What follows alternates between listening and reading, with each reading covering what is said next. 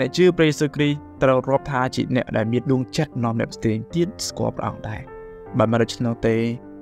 យើងពិបាកនឹងថាដឹងថាសេចក្តីជំនឿរបស់យើងស្ថិតនៅក្នុងសេចក្តីជំនឿពិតប្រាកដឬក៏យ៉ាងហើយដែលបានជាយើងជាអ្នកជឿព្រះអង្គអាម៉ាស់ដោយសារព្រះអង្គទៅវិញជាមិនគួរអាម៉ាស់ទេព្រះអង្គអាម៉ាស់សារយើងហើយដើម្បីយើងអាម៉ាស់ដោយសារព្រះអង្គសូមគោរពនឹងជ្រាបសួរបងប្អូនទាំងអស់គ្នានៅក្នុងព្រះនាមព្រះអង្គម្ចាស់ព្រះយេស៊ូវគ្រីស្ទបាទវីដេអូនេះខ្ញុំសូមលើកទឹកចិត្ត ដល់បងប្អូនដែលជាគ្រូបរិស័ទហើយក៏ជាការលើកទឹកចិត្តដល់ខ្ញុំផ្ទាល់ដែរហើយនិងបងប្អូនដែរហើយខ្ញុំសង្ឃឹមថាបងប្អូននឹងទទួលបានការលើកទឹកចិត្តក៏ដូចជាជំរុញចិត្តបងប្អូនក្នុងការរស់នៅថ្វាយសេរីល្អទៅកាន់ព្រះអង្គតាមរយៈជីវិតរបស់យើងនៅលើផែនដីនេះសូមបងប្អូនបានអត់បើកទៅព្រះគម្ពីរម៉ាថាយចំពុក28នៅចុងចំពុកបងអស់បងប្អូននឹងឃើញអំពីព្រះបន្ទូលរបស់ព្រះយេស៊ូវតែទ្រង់បានផ្ដាំ មិនមែនផ្ដាំទៅកាន់តែពួកសិស្សគឺផ្ដាំដល់យើងទាំងអស់គ្នាដែលជាសិស្សរបស់ព្រះអង្គដែរនៅក្នុងព្រះគម្ពីរម៉ាថាយចំពុក28ខ19ដល់ខ20ជាខគម្ពីរមួយដែលគ្រូបរិស័ទស្គាល់ច្បាស់ប្រហែលជាមានគ្រូបរិស័ទខ្លះមិនសូវស្គាល់ខគម្ពីរនេះដែរអដោយសារតែពួកគាត់មិនដែលអានព្រះគម្ពីរខ្ញុំអត់ដឹងឬក៏យ៉ាងណាប៉ុន្តែជាមួយគ្នាខ្ញុំសូមអានជូននៅព្រះគម្ពីរម៉ាថាយចំពុក 28ខ19ដល់ខ20ដូច្នេះទៅចូលទៅបញ្ចុះបញ្ចូលឲ្យមានសិស្សនៅគ្រប់ទាំងសាសព្រមទាំងធ្វើបុណ្យជ្រមុជទឹកឲ្យដោយនៅព្រះនាមព្រះវរបិតាព្រះរាជបុត្រានិងព្រះវិញ្ញាណបរិសុទ្ធចោលហើយបរៀនគេឲ្យកាន់តាមគ្រប់ទាំងសេចក្តីដែលខ្ញុំបានបង្គាប់មកអ្នករាល់គ្នាផងហើយមើលខ្ញុំក៏នៅជាមួយនឹងអ្នករាល់គ្នាជារៀងដរាបជារៀងរាល់ថ្ងៃដែរដរាបដល់បំផុតកលអាមែន នេះគឺជាការដែលព្រះយេស៊ូវមានបន្ទូលមកកាន់ពួកសិស្សរបស់ផងព្រះអង្គឲ្យចេញទៅបញ្ចុះបញ្ចូលឲ្យមានសិស្សនៅគ្រប់ទាំងសាសគឺបានថាឲ្យយើងទៅប្រាប់មនុស្សអំពីដំណឹងល្អអំពីព្រះអង្គហើយធ្វើបុណ្យជ្រមុជទឹកដល់ពួកគេដល់អស់អ្នកណាដែលទទួលជឿលើព្រះយេស៊ូវគ្រីស្ទកិច្ចការផ្សាយដំណឹងល្អនៅក្នុងជីវិតរបស់យើងជាគ្រូបរិស័ទគឺគ្រប់គ្នាគឺត្រូវតែផ្សាយដំណឹងល្អ វាមិនមែនលើអាស្រ័យទៅលើអំណោយទានអំណោយទានមានមានផ្សេងពីគ្នាប៉ុន្តែកិច្ចការរួមជាមួយគ្នាគឺការដែលយើងផ្សាយដំណឹងល្អអំពីព្រះយេស៊ូវគ្រីស្ទការផ្សាយដំណឹងល្អយើងមិនមែនដាក់បន្ទុកឬក៏គិតថាកិច្ចការទាំងអស់នោះគឺជាកិច្ចការរបស់គ្រូពង្វាលឬក៏ពួកចាស់ទុំឬក៏នរណាម្នាក់ដែលដឹកនាំនៅក្នុងក្រុមជំនុំមិនដូច្នោះទេ យើងមិនអាចគិតថា ការងារទាំងអស់នោះគឺត្រូវតែសម្រាប់អ្នកដែលរៀននៅសាលាព្រះគម្ពីរឬក៏សម្រាប់អ្នកដែលបានអឺបម្រើព្រះនៅក្នុងព្រះវិហារឬក៏នៅក្នុងស្ថាប័នអង្គការគ្រឿងបរិស័ទផ្សេងផ្សេងមិនដូច្នោះទេបេសកកម្មរបស់យើងគឺយើងសម្រាប់យើងម្នាក់ម្នាក់ខ្ញុំដឹកចាំអំពីគ្រូបរិស័ទខ្លះមួយចំនួន នៅពេលដែលគាត់បានទទួលជឿលើព្រះយេស៊ូវគ្រីស្ទហើយ ពីការដំបូងហើយទាំងដួងចិត្តគាត់ឆេះឈួលជាដំបូងគឺគាត់នាំគ្រួសារគាត់ទទួលជឿលើព្រះយេស៊ូវគ្រីស្ទគាត់មានភាពឆេះឈួលក្នុងការនាំឲ្យគ្រួសារគាត់ទទួលជឿលើព្រះយេស៊ូវគ្រីស្ទដោយអធិដ្ឋានទូលសូមជំនួយមកពីព្រះអង្គប្រាជ្ញាមកពីព្រះអង្គក្នុងការដែលប្រកាសប្រាប់ពីគ្រួសារមានបងប្អូនគ្រូបរិស័ទខ្លះជឿព្រះនៅក្នុងគ្រួសារម្នាក់ឯងគាត់មិនមានចិត្តក្នុងការនាំអ្នកដទៃទៀត ស្គាល់ព្រះទេកុំថាឡើយអ្នកដទៃសំបីតែគ្រួសារគាត់ដែលគាត់កំពុងរស់នៅក៏គាត់មិនចង់ឲ្យគ្រួសារគាត់ឮអំពីពនាមព្រះអង្គដែលគាត់ជឿបងប្អូនលោកគ្រូ Martin Luther គាត់បានលើកឡើងអំពីកិច្ចការនេះគាត់ថាបើយើងជាអ្នកជឿលើព្រះយេស៊ូវគ្រីស្ទมันមានចិត្តចង់នាំអ្នកផ្សេងទៀតទទួលជឿលើព្រះយេស៊ូវគ្រីស្ទដើម្បីឲ្យបាន ចូលទៅនៅកូតាស៊ូកុំថាឡាយអ្នកដតីបានចូលថាស៊ូសម្បីតែខ្លួនយើងដែលយើងជឿព្រះអង្គមិនចង់អ្នក នាំអ្នកដតីទទួលជឿហ្នឹងក៏យើងមិនប្រកាសថាយើងបានទៅដែរបងប្អូននេះជាសម្រងសម្ដីមួយដែលជាការលើកឲ្យយើងមានការប្រុងប្រយ័ត្នចំពោះសេចក្តីជំនឿរបស់យើងដែលជឿលើព្រះសេចក្តីជំនឿរបស់យើងដែលជឿលើព្រះសូគ្រីគឺរាប់ថាជាសេចក្តីជំនឿដែលរស់មានការប្រព្រឹត្តមានការស្ដាប់តាមព្រះបន្ទូលរបស់ផងព្រះអង្គព្រះអង្គបានបង្គាប់ដល់គ្រូបរិស័ទទាំងអស់គ្នាទាំងខ្ញុំទាំងគ្រូគង្វាលទាំងបងប្អូនទាំងអស់គ្នាដែល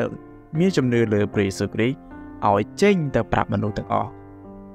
អំពីព្រះនាមព្រះរបស់ព្រះអង្គហើយបើយើងអត់ទៅប្រាប់ផងតើយើងជាអ្នកជឿដែលស្ដាប់បង្គាប់តាមព្រះយេស៊ូវដែរអត់មិនខុសទេអត់អត់អត់មានចិត្តដូច្នោះទេព្រះយេស៊ូវបើសិនបើសិនជាបងប្អូនពិចារណាពីពីបកគលដែលជឿព្រះយេស៊ូវគ្រីស្ទហើយលាក់សេចក្តីជំនឿរបស់គាត់មិនប្រាប់មិនទៅប្រកាសម្លោះហើយ នៅក្នុងឆ្នាំ2024ទាំងខ្ញុំទាំងបងប្អូនក៏មិនបានឮពីព្រះយេស៊ូវគ្រីស្ទដែរបើសិនជាមិនមានណាប្រាប់ព្រះគម្ពីររ៉ូមបានសិវពោបានលើកឡើងថាបើយើងមិនមិនប្រកាសប្រាប់ហងមិនមិនគេបានឮពីដំណឹងល្អដូច្នេះបងប្អូនជំនឿជឿលើព្រះយេស៊ូវគ្រីស្ទដែលយើងជឿលើព្រះដ៏ពិតដួងចិត្តរបស់យើងម្នាក់ម្នាក់យើងមើលឃើញពីតម្រូវការមនុស្សជំនាញតើពួកគេត្រូវការអីគេបាត់ប្រកាសគឺ គឺគឺពួកគេត្រូវការស្ដីសង្គ្រោះដូចយើងដែរបងប្អូនដឹងហើយថាមនុស្សអត់ជឿអត់ជឿលើព្រះយេស៊ូវគ្រីស្ទនៅពេលដែលពួកគេបញ្ចប់ជីវិតនៅថ្ងៃណាមួយពួកគេនឹងទៅណាហើយអ្នកដែលជឿលើព្រះយេស៊ូវគ្រីស្ទយ៉ាងពិតប្រាកដពួកគេនឹងទៅណាមានកន្លែងពីរខុសអាចពីគ្នាបងប្អូនដែលជាអ្នកជឿនៅក្នុង គ្រួសារម្នាក់ឯង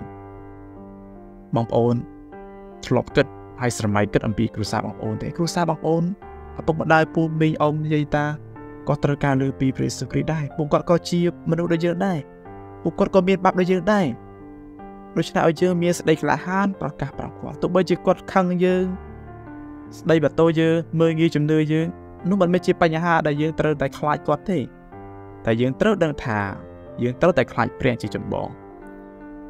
ជាមួយគ្នាយើងជាមនុស្សយើងខ្លាចការអាប់អោនគេឈ្មោះការដែលគេមើងងាយមកលើយើងផ្ទាល់ ពេលខ្លះយើងខ្លាចមនុស្សខ្លាំងជាងខ្លាចព្រះទៅទៀតយើងដែលហ៊ានធ្វើយើងខ្លាចមនុស្សមិនរាប់រយយើងមិនស្រឡាញ់យើងបោះបោយើងចោល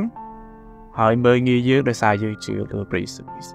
បើសិនជាបងប្អូនគិតយ៉ាងដូច្នោះយើងមិនចាំបាច់ធ្វើអីទេកុំជឿព្រះយេស៊ូវល្អជាងដោយសារតែបងប្អូនខ្លាចមនុស្សជាជាងខ្លាចព្រះប៉ុន្តែក្នុងព្រះបន្ទូលព្រះអង្គបានប្រាប់យើងថាឲ្យយើងខ្លាចព្រះជាជាងខ្លាចមនុស្សពីព្រោះមនុស្ស បានសម្លាប់ត្រឹមតែរូបសាច់របស់យើងប៉ុណ្ណោះប៉ុន្តែព្រះអង្គអាចសម្លាប់ទាំងរូបកាយសម្លាប់ទាំងសាច់ឈាមសម្លាប់ទាំងកម្លាំងវិញ្ញាណរបស់យើងហើយបោះយើងទៅក្នុងឋាននរកនេះត្រូវខ្លាចព្រះ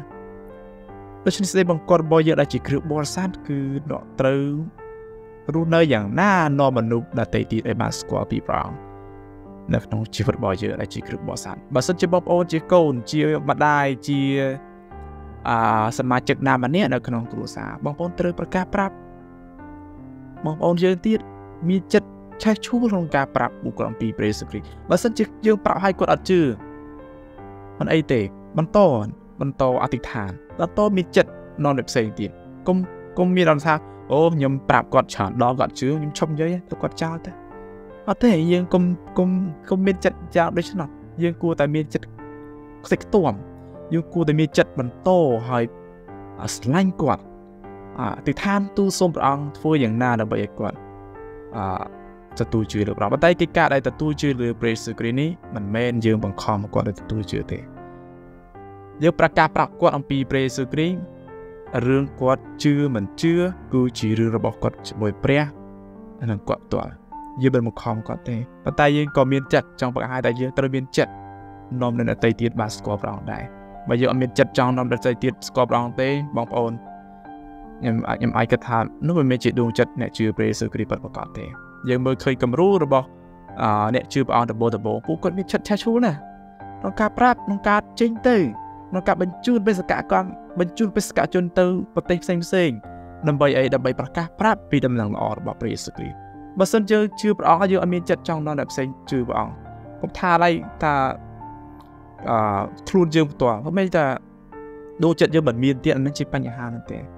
អ្នកជឿព្រះយេស៊ូវគ្រីស្ទត្រូវរាប់ថាជាអ្នកដែលមានដួងចិត្តនាំអ្នកផ្សេងទៀតស្គាល់ព្រះអង្គដែរបើមិនដូច្នោះទេ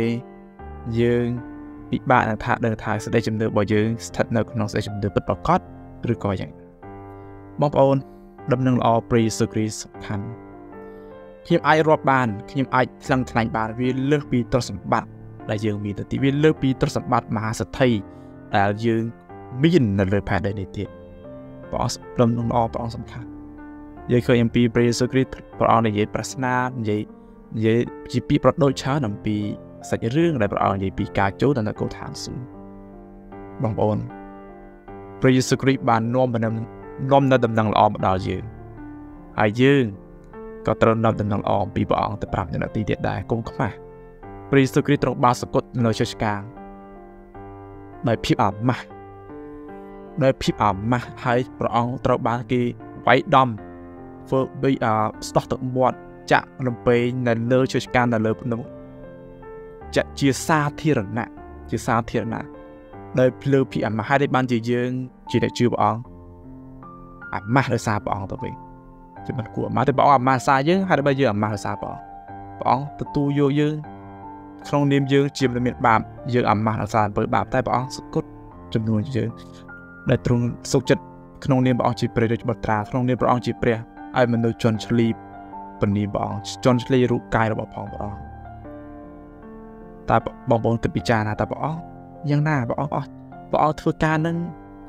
លះបង់បណ្ណាសម្រាប់យើងព្រះពិហេព្រះបាននិយាយឲ្យយើងពិចារណាមើលពីព្រះអង្គតែដែលជាមេផ្ដាំនៃសេចក្តីជំនឿព្រះអង្គបានខ្មាស់នឹងហៅយើងជាបងប្អូនផង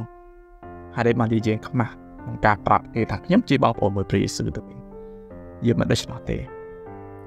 ស្ដីជំនឿរបស់យើងដែលជឿលើព្រះយេស៊ូវគ្រីស្ទគឺជាស្ដីជំនឿមួយដែលរស់